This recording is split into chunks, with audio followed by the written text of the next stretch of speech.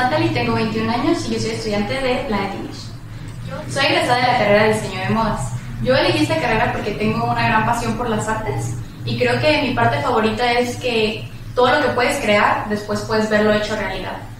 Yo este, desde muy pequeña he tenido ese amor por, por el arte y mis materias favoritas siempre fueron aquellas en las que tenía que diseñar, pero digitalmente. Me gusta el área de, de diseño editorial, así como la ilustración digital.